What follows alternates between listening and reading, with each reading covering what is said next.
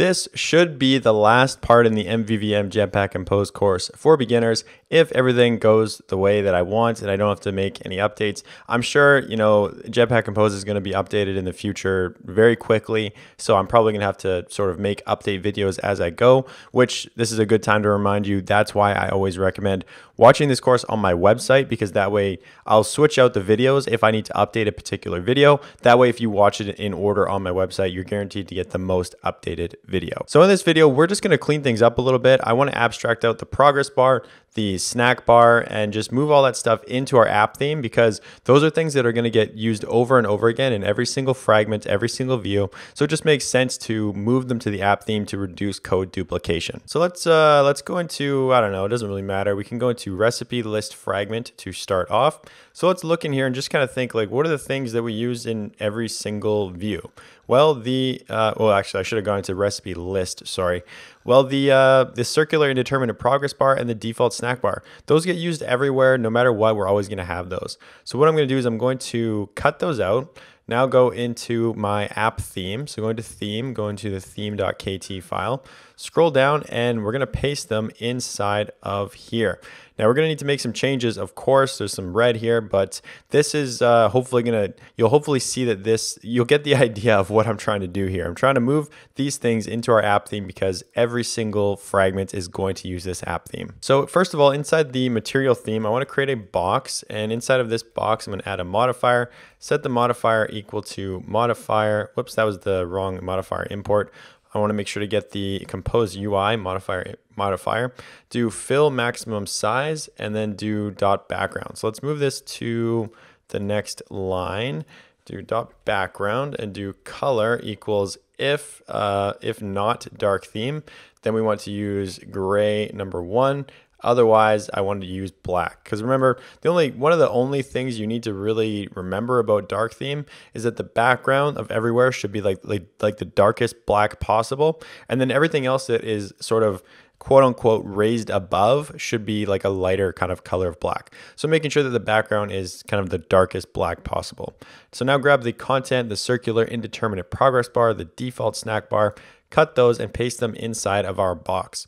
Now replace this is displayed with a boolean that we're going to pass up here.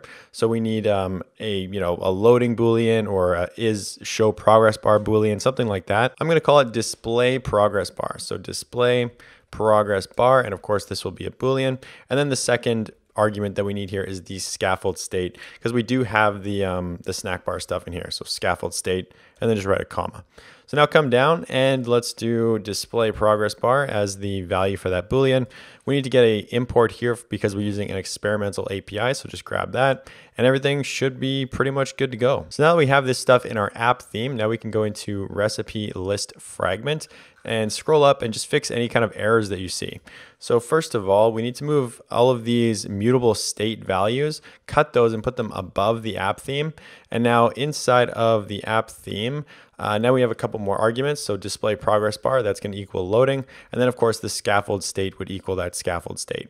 So now everything should be exactly the same as it was before, just that we have, you know, less, slightly less code inside of the composables inside the fragment. So now that we have this in the theme, we can also go into our other fragment, which is recipe fragment and do the same thing. So come up to the top and just do, you know, display progress bar, set that equal to loading, and we can do the scaffold state and set that equal to the scaffold state. Now, of course, since we've added those to the app theme, we also need to scroll down and just get rid of these down at the bottom here. We have that circular progress bar and we have that snack bar. So that should be it. Hopefully I didn't make any mistakes. Let's run it and let's take a look. Everything should be exactly the same as it was before. Okay, there's the app launching. There's our nice shimmer animation. Everything looks good. Everything looks totally normal. Let's, you know, let's just do some stuff. Let's click around. Let's make sure everything's good. There's the progress bar. Remember if I click on milk, that should show the snack bar. Yes, it does. All right, now let's click on a recipe. We go to recipe fragments. The shimmer looks good. Everything looks good. Now let's try some rotations. Let's do a rotation. That looks fine. Let's press back. List position is maintained. Everything looks good there. Now let's rotate back and see if that's good. Yes, it is. So everything looks like it is working as expected. So that is going to be it for the course, hopefully anyway. Hopefully I didn't make any mistakes. And as another reminder, a better way to watch this is to go to my website, codingwithmitch.com. Just register an account. It's completely free. Go over to courses and click on the MVVM Jetpack Compose course right here. Here you can watch, you know, all the entire course. It's still got a to do here because technically I'm still filming it. This is the last one, but this will be all updated.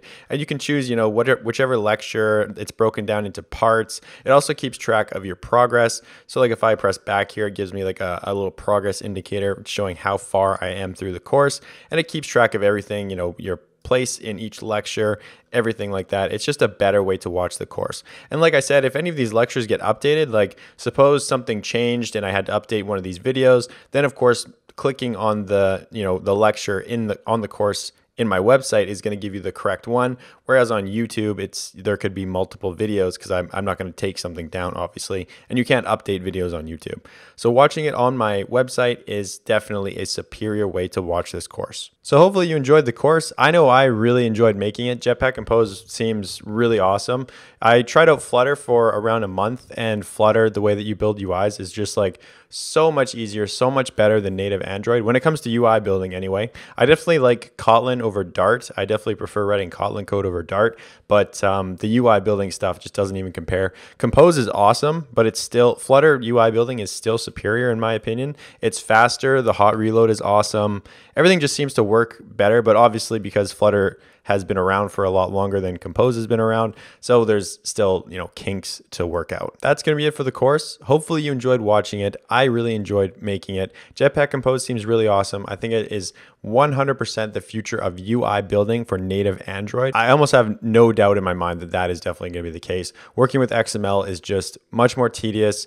There, there's too many dependencies that are don't well they don't like work together or this version doesn't work with that version.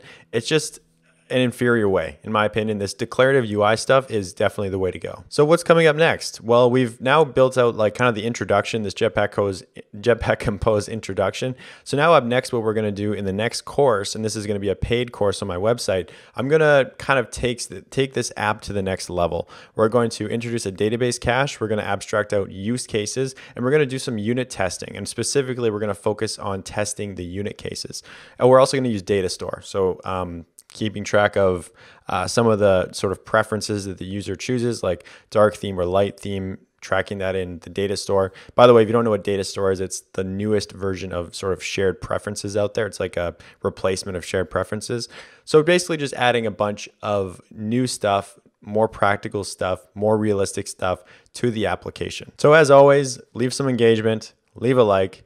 Thanks for watching, and I'll see you in that next course because I know all of you are going to go watch it. Hey, what are you still doing here? The video's over. Well, since you're still here, I guess I'll show you the best Android courses that exist on the planet. I got all kinds of high quality courses. If you scroll on down on the homepage, there's the Jetpack Compose one that you're watching right now.